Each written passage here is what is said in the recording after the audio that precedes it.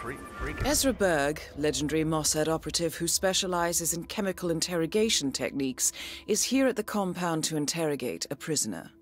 My notes indicate he's set up a makeshift drug lab in a garage, and it looks like he's spending a lot of his time in the basement. Could be an opportunity there, 47. Mask. What the hell are you talking about? I was just at the security station watching the feeds. There's this creepy guy.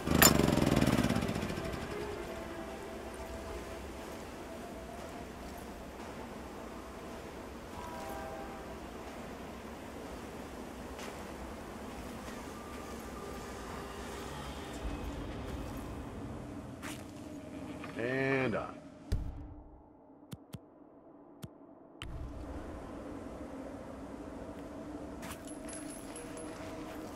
Oh.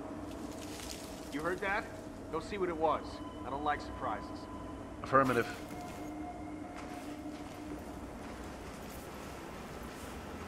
Not